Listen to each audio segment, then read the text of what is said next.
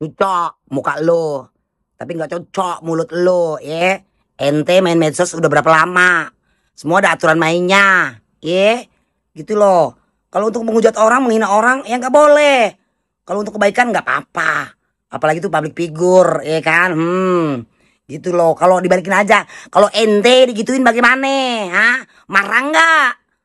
Eh, masih bagus lo Lesti, ya kan? Oh, coba lo ente. Sekate-kate ngaca lu di balong, tau gak lo? Cakep muka nggak cakep mulut, lu pret.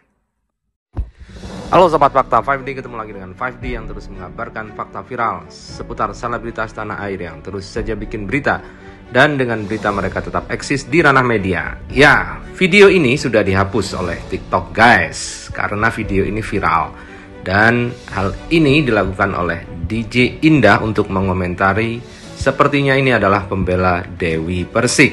Dia mengatakan gak baik ngurusin hidup orang, nyerang-nyerang orang. Tapi menurut DJ Indah, jika hal ini dilakukan, menyerang public figure ini untuk kebaikan, supaya tidak dicontoh oleh orang lain, DJ Indah ini menganggap bahwa hal itu baik untuk dilakukan karena biar tidak dicontoh untuk kebaikan bukan untuk gibah begitu menurut DJ Indah namun akhirnya video ini pun di take down oleh TikTok entahlah kenapa dan DJ Indah lo. tidak terima Tapi karena mulut lo, videonya ya. viral Ente main medsos udah berapa lama? TikTok Semua ada aturan dan mainnya, hal itu ya. diomongkan Gitu DJ loh. Indah pada Kalau untuk menghujat orang, menghina orang, ya nggak boleh. Kalau untuk Dan untuk mendukung pernyataannya itu netizen pun spill video Dewi Persik dengan caption Dewi Persik ngomong kotor lagi.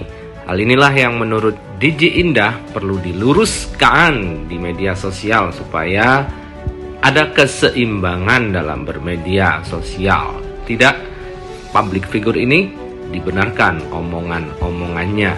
Sehingga DJ Indah memaksudkan serangannya kepada Dewi Persik ini supaya masyarakat belajar bahwa tidak semua yang dari artis itu atau public figure namanya saja public figure.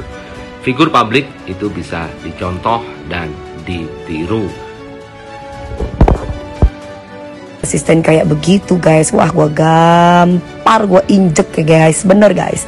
Sorry tuh saya gitu ya guys. Gila ibaratnya kita yang bayar kok seenaknya bisa berbicara bahasa kotor. Ya wajar kalau anak buahnya bisa bicara bahasa kotor seperti itu di depan bosnya guys. Karena bosnya tiap hari makanannya begitu guys.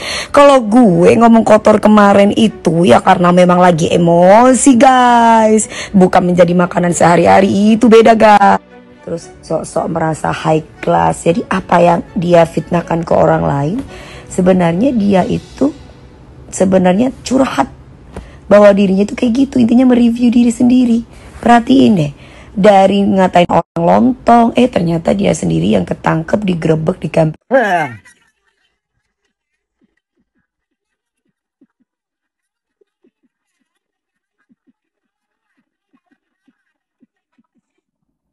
cocok muka lo.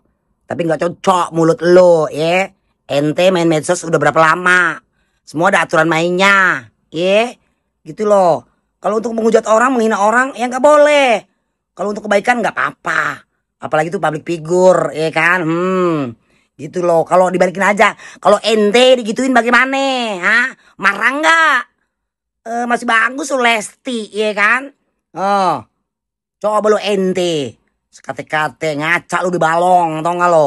Cakep muka nggak cakep mulut, lu pret.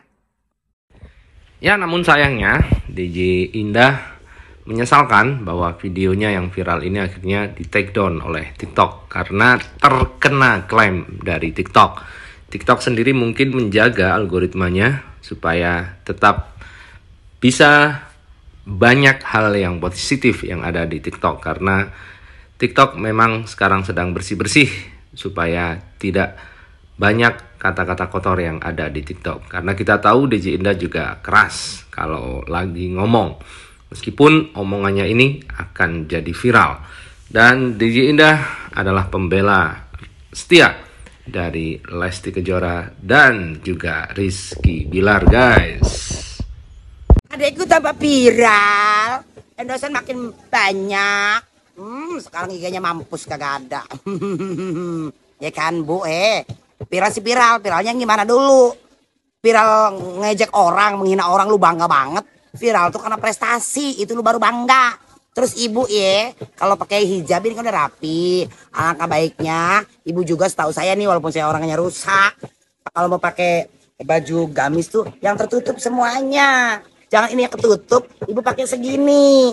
Mau pamer gelang, mau pamer harta, pamer aja. Ya kan? Kalau ibu pakai panjang, gelang yang gedenya nggak kelihatan. Aduh bu, ya kan? Jadi kalau pakai hijab, tolong itu segini ya kan cuma telapak tangan doang yang kelihatan bukan segini nah dari situ aja ibu udah kelihatan ya kan kalian bahas sendiri aja lah ya guys gitu ya udah nyolong uh, video orang pakai ngejelek-jelekin. Udah minta maaf. Lah ente juga ngebahas-bahas lagi tuh ya kan? Yang enggak enggak aja. Jadi introspeksi diri aja yang salah siapa. Kok cari cari pembenaran? Mikir dong. Eh barbar-barbar yang mana? Ente yang barbar.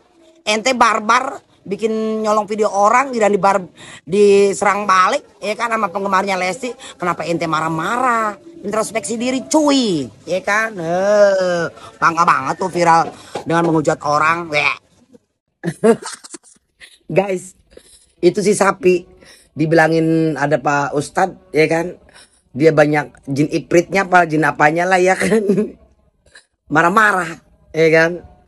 Eh ada jejak digital itu si sapi lagi di Rukia apa ya sama Pak Ustadz itu.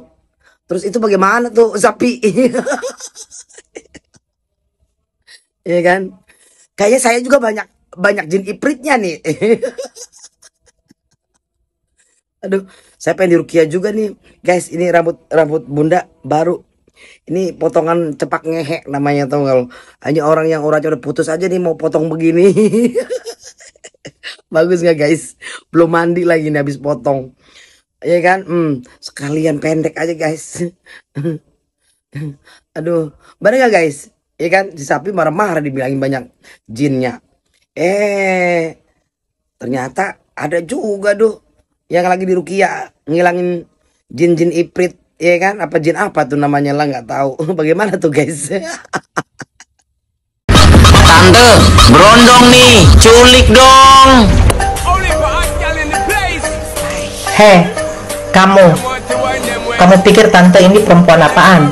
Tante ini perempuan baik-baik. Kalau didengar sama suami sama anak tante gimana? Kamu berani? Gak boleh gitu ya sama orang tua, gak boleh.